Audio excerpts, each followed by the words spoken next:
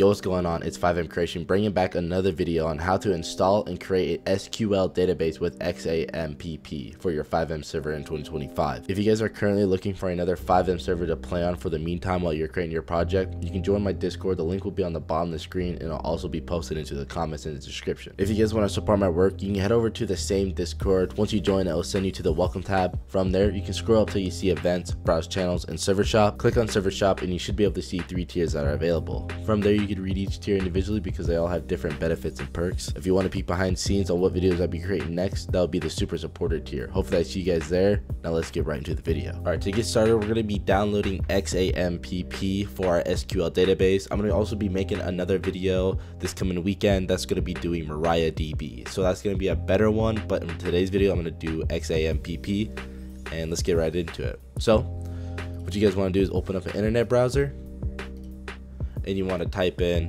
XAMPP and hit enter. Once you see it should pop up this little tab right here, Apache, and just click on this one, the first one that pops up. And then you want to download XAMPP for Windows because that's what that's what we're using. Wait for it to download. It should download automatically. If it doesn't, just click here. Alright, there we go. It pops up and hit save. Alright, that's one of the two things we need.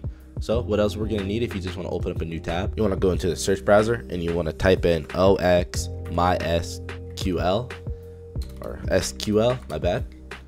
And then you want to scroll down to where you say overextended.dev, OX MySQL documentation. When this one pops up, click on this one. And I also have it in the link in the description. Now, you guys want to scroll down to where you see latest release. Click latest release. Scroll down. Press OX MySQL zip. And it should download.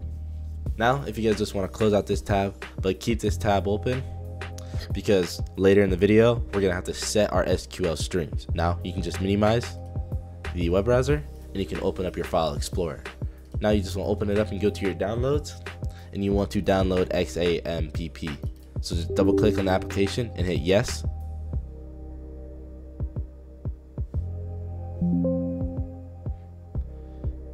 Hit OK.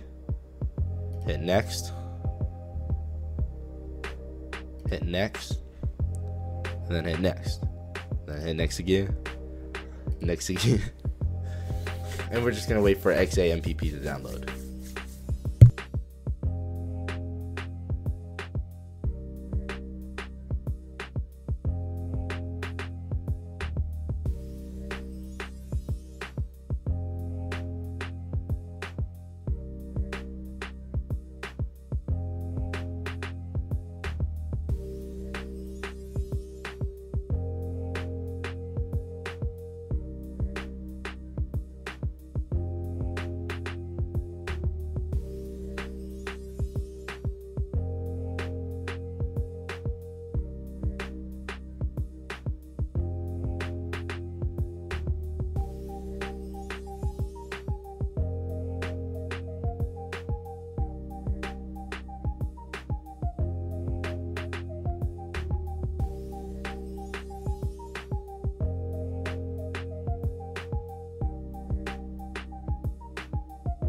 Then you just want to click finish.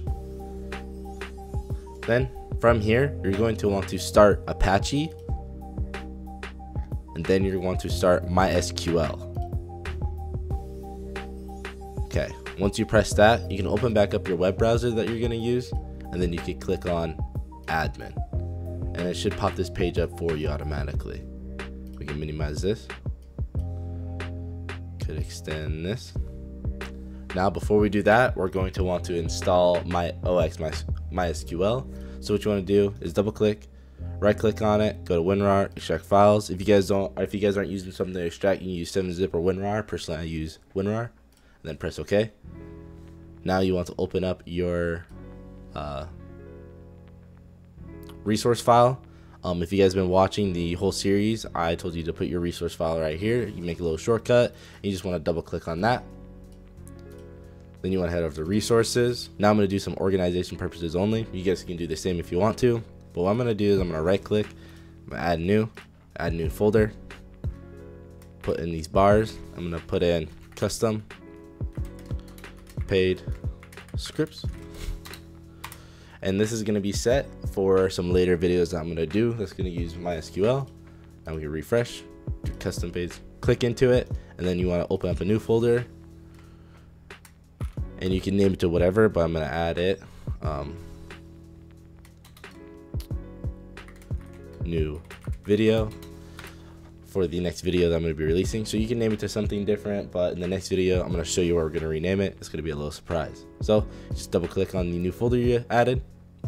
Now you just want to go back to OXMySQL, double click on it, double click, oh, no, go back one, and then you guys just want to control X or just hit copy, and then you want to paste it over here. And you want to double click on it and copy its name, and go back to your server CFG and go back over here where the resources start by default and ensure OXMySQL. Now that's it for this part. You want to keep this server CFG open. open back up that web browser. Full screen it. Then you just want to click on the new tab. All right, sorry about that. I had to fix my page. It was all messed up.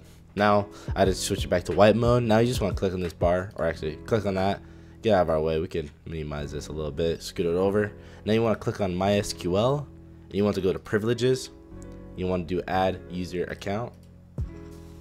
Now, what do you want to have your username? I'm going to add mine FiveM creation. You can add whatever you want it.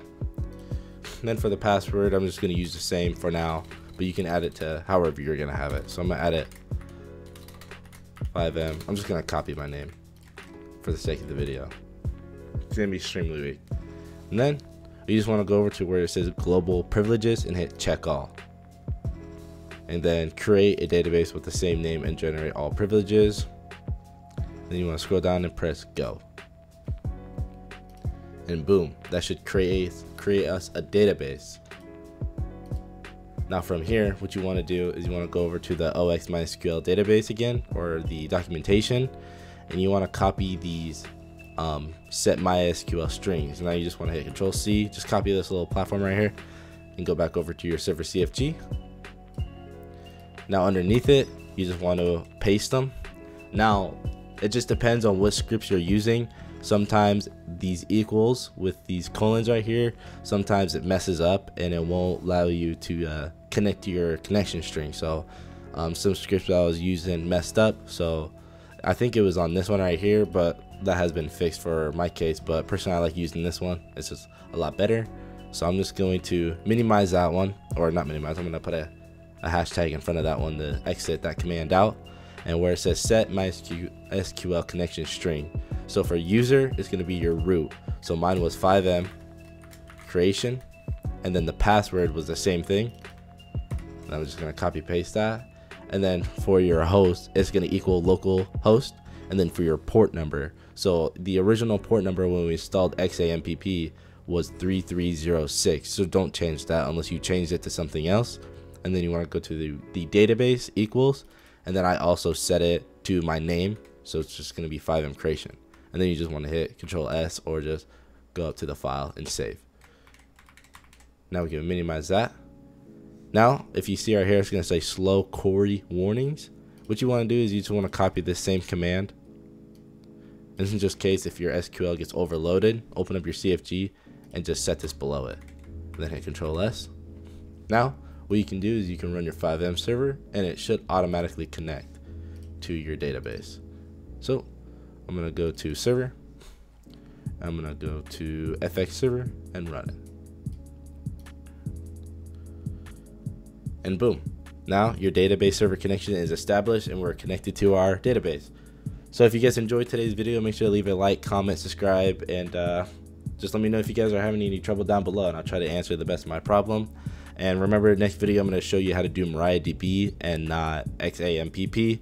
Uh, I think MariaDB is just a little bit better in my opinion. You know, if your computer, if you're like computer crashes or something, you'll lose most of your data with XAMPP. So that's why I use MariaDB.